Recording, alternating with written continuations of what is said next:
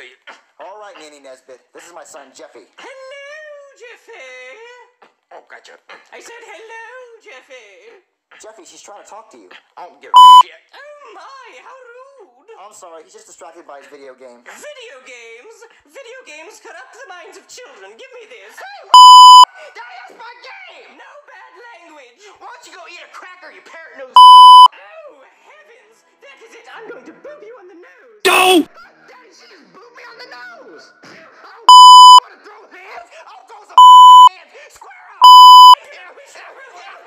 I am fucking stop it! Stop it!